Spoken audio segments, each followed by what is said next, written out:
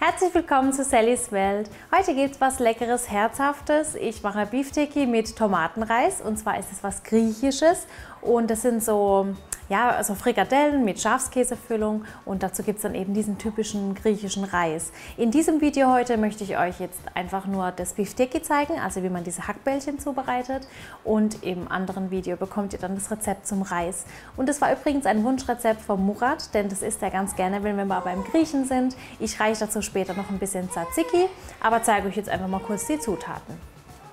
Ich habe hier 500 Gramm Hackfleisch, das ist jetzt Rinderhackfleisch und ich habe das jetzt aufgetaut, also das war im Gefrierfach. Dann brauche ich zwei Scheiben Toastbrot oder zum Beispiel ein altes Brötchen oder altes Brot. Dann habe ich hier eine Zwiebel, zwei Knoblauchzehen, ein Ei, so ein bisschen Petersilie habe ich jetzt auch aus dem Gefrierfach von meinem Kräutergarten. Salz und Pfeffer natürlich. Hier habe ich noch etwas Oregano und natürlich Schafskäse. Und später zum Ausbacken brauche ich noch ein bisschen Olivenöl. Jetzt bereite ich zuerst die Hackmasse zu und nehme dafür die Zwiebel und die Knoblauchzehen und die werden jetzt fein gewürfelt.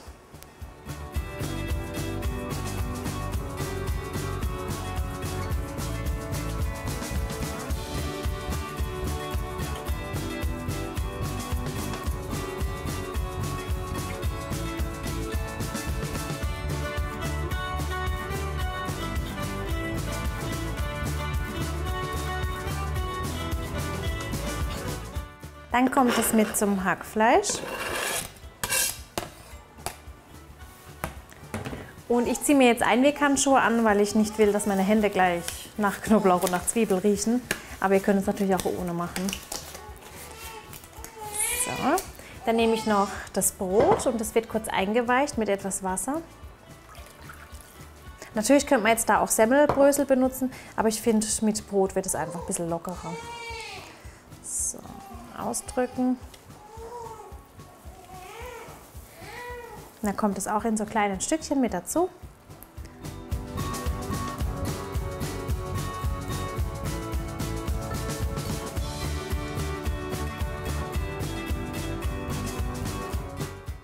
Dann noch das Ei und die Petersilie.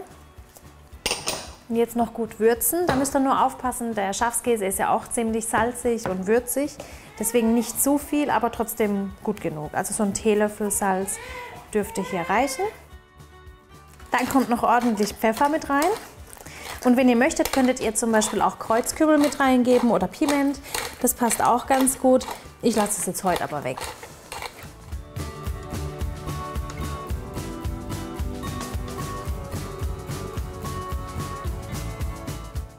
Jetzt fehlt nur noch Oregano und da gebe ich auch einen Teelöffel mit rein. Und jetzt muss das Ganze richtig gut durchgeknetet werden.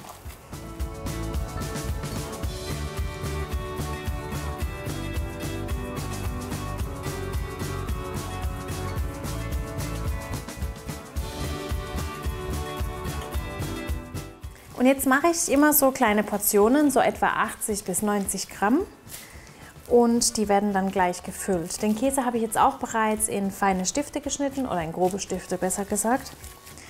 So. Jetzt habe ich hier ein Stück Alufolie und zwar hilft es einfach beim... Warte, ich muss niesen.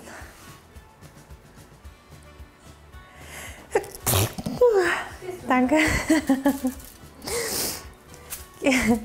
Jetzt habe ich hier ein Stück Alufolie und das hilft einfach jetzt beim Formen. Also jetzt breite ich das hier ganz flach aus. Könnt ihr jede beliebige Form machen. Ich mache jetzt einen Kreis. Dann kommt ein Stück Käse rein in die eine Hälfte. Jetzt drehe ich kurz so. Und jetzt klappe ich das mit der Alufolie zu. Und drücke noch die Ränder schön fest.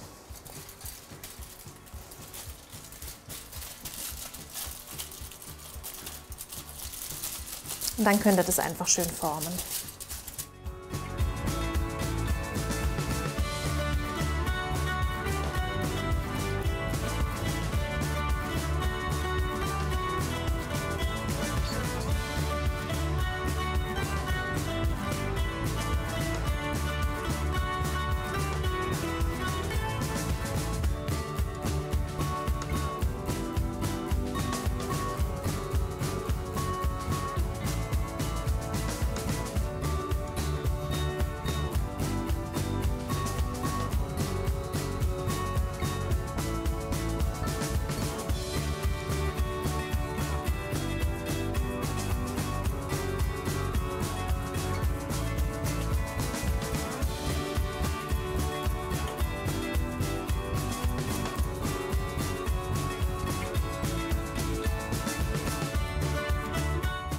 Ich habe jetzt die Beefteki geformt und habe in der Zwischenzeit auch noch meinen Reis aufgesetzt. Den gibt es nämlich als Beilage.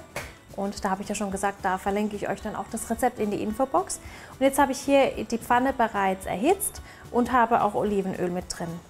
Und jetzt kann ich die Beefteki da reinsetzen. Und die werden dann von jeder Seite ungefähr drei bis vier Minuten gebraten.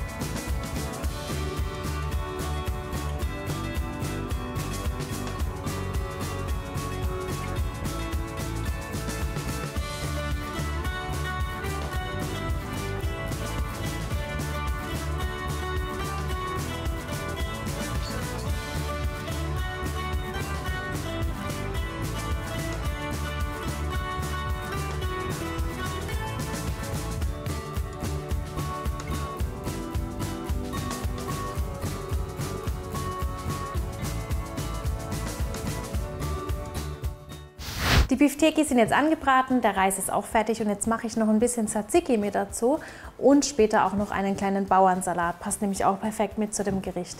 Und für das Tzatziki habe ich hier bereits Joghurt und zwar ist es ein 10%iger griechischer fester Joghurt. Das sind so etwa 600 Gramm. Hier habe ich zwei Knoblauchzehen, etwas Olivenöl, Salz, Pfeffer und etwas getrocknete Minze.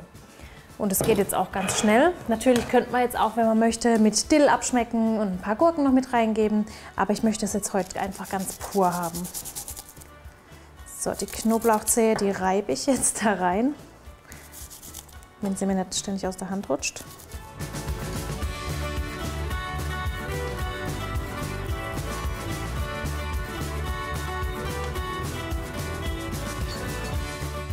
Dann noch einen Schluck Olivenöl mit rein. Natürlich auch Salz und Pfeffer.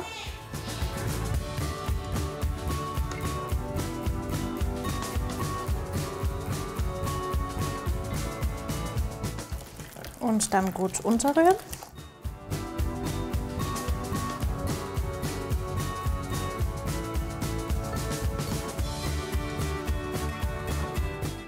Jetzt noch ein bisschen Minze mit rein. Und dann müsst ihr das nur noch abschmecken, ob noch Salz oder Pfeffer fehlt. Und dann ist das Tzatziki fertig. Der Reis, die Beefteki und das Tzatziki sind jetzt fertig und ich kann das jetzt anrichten. Und zwar richte ich den Reis jetzt so in einem Schälchen an, beziehungsweise forme das einfach.